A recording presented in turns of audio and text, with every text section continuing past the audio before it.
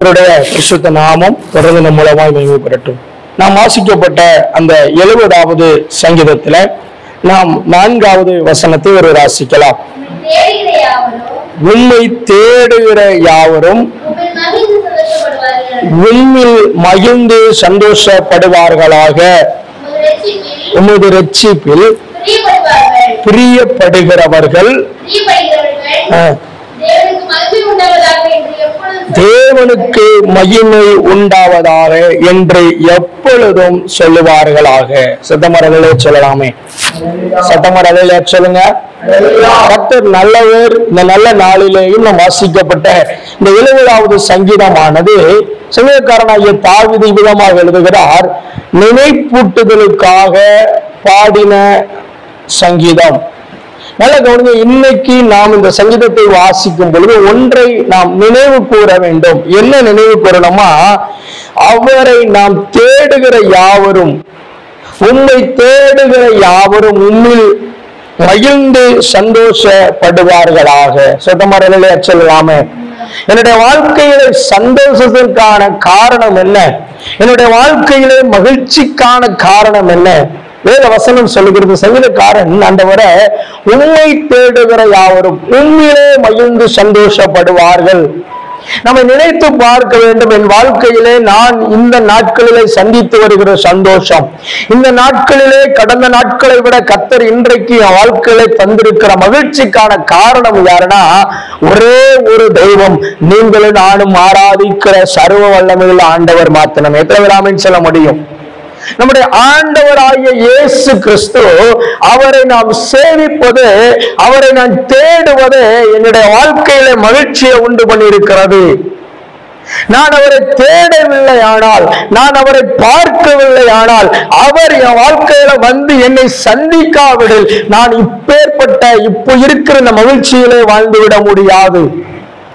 அப்போ அவர் என்னை தேடி வந்ததினால் அவர் என்னை அவர் என்னை தேடும்படியான ஒரு சூழ்நிலைக்கு மத்தியில என்னை அவர் கரம் பிடித்ததுனாலதான் இன்னைக்கு தைரியமாய் நினைவு கூற முடிகிறது. அவரால் அன்று என் வீட்டிற்கு ரட்சிப்பு இல்லை. சதமர் அலையில சொல்லுங்க. அவரால் அன்று என் வாழ்விலே ஒரு மகிழ்ச்சி அல்ல. அதனால சங்கீதக்காரன் சொல்கிறான் நினைவு கூறுகிறான் உண்மை தேடுகிற யாவரும் இன்னைக்கு தேடி வந்திருக்கிற ஆராதனையில கலந்து கொண்டிருக்கிற அன்பு தெய்வ பிள்ளைகளை நீங்கள் அவரை தேடி வந்திருக்கிறதுக்கு காரணம் அவர் என்னை மகிழ பண்ணி இருக்கிறார் அதை தவிர நாம சொல்ல முடியும். சத்தமார் அலையிலே சொல்லுங்க பார்க்கலாம். அதுல வசனம் சொல்லுகிறது நான்காவது வசனத்தின் பின்பகுதி உங்களுடைய ரட்சிப்பில் பிரியப்படுகிறவர்கள் தேவனுக்கு மகிமை உண்டாவதாக என்று எப்பொழுதும் சொல்லுவார்கள்.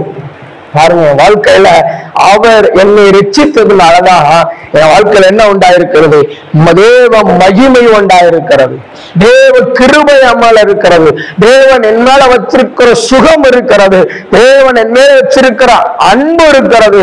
தேவன் என்னை நடத்துகிற ஒரு வல்லமையான கிருபை என்னை நடத்துகிறது காரணம் அவர் ரட்சிப்பிலே நான் பிரியப்படுகிறேன். நான் கேட்கிற அன்பான சபையே அன்பான தேவ பிள்ளைகளே ஒன்னு நினைவு கூறுங்கள். அவர் என் வாழ்வில் வராவிடும் அவரை நான் தேடாவிடும் அவர் என்னை ரட்சிக்காவிடும் நான் ரட்சிக்கப்படாவிட்டால். என் வாழ்க்கை எப்படி இருக்கணும் கொஞ்சம் சிந்தித்து பார்க்க கடவும் நம்ம நினைவு கூற கடவும் நிறைய சாட்சிகளை சொல்ல முடியும். அவர் என் வாழ்க்கையில என்னை சந்தித்ததுனாலதான் அவர் என் வாழ்க்கையில இதன் இது அவர் எனக்கு செய்ததுனாலதான் நான் இன்னைக்கு உயிரோடு கூட ஜீவித்துக் கொண்டிருக்கிறேன் என்று இங்கு அநேகர் சொல்ல முடியும் தேவ சாட்சியாக.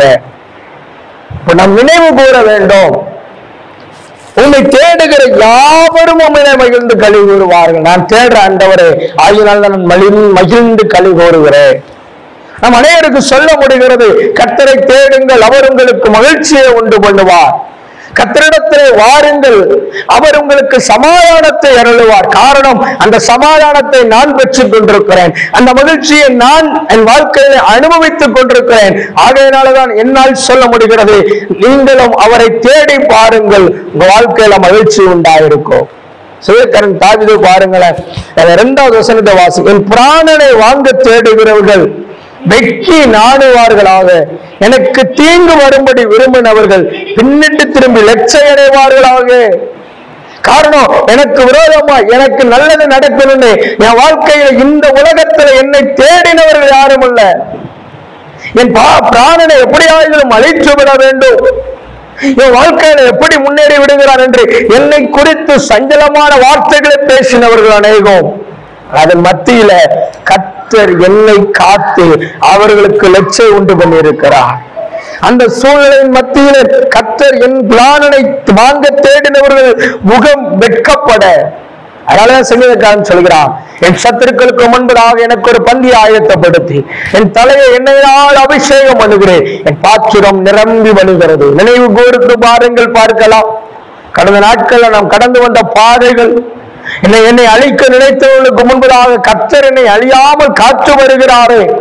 என்னை என்னை விழுங்கி விட வேண்டும் நினைத்தவர்கள் மத்தியிலே கத்தர் என்னை காத்து வருகிறாரே. என் தேவனை நாம் நினைவு கூர்ந்து நாம் அவருக்கு நன்றி செலுத்த பழக வேண்டும். அனை தினமும் அவரை தேட வேண்டும். அனை தினமும் அவரை பார்க்கிற அனுபவம் அவரை தேடுகிற அனுபவம் அவர் ரட்சிப்பிலே மகிழ்கிற ஒரு அனுபவம் நம்முடைய வாழ்க்கையில காணப்படும் ஆனால் சங்கீதக்காரன் தாவிது சொல்லுகிறது போல வசனம் சொல்லுகிறது நானோ சிறுமையும் எளியவுமானவன். தேவனே என்னிடத்தில் தீவிரமாய் வாரும். நீரே துணையும் என்னை விடுவிக்கிறவருமானவர். கத்தாவே தாமதியாது. அன்றைய ஜெபிக்கிறான் பாருங்களேன். இன்னைக்கு நம்முடைய ஜெபம் அப்படிதான் இருக்கும். ஆண்டவரை நான் நம்முடைய ரட்சிப்பில மகிழ்கிறேன். ஆண்டவரை என்னுடைய வாழ்க்கையில நீர் வந்ததுனால உண்டான மகிழ்ச்சியை நான் அனுபவிக்கிறேன். இன்னும் ஆண்டவரை எனக்கு உரதமா எழும்பினவர்களை கத்த நீர் வெட்கப்பட பண்ணும் ஆண்டவரை எனக்கு உரதமா எழும்புகிற கூட்டத்துல நீங்கள் அவர்களுக்கு லட்சியம் உண்டு பண்ணும்.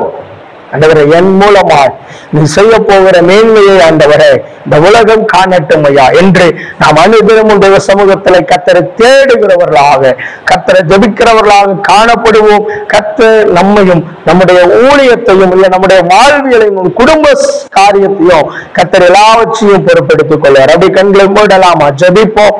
பரிசுத்தமுள்ள நல்ல ஆண்டவரே நல்ல நாளிலேயும் கத்தாவை நாங்கள் நினைவு கூறுகிறோம் ஐயா.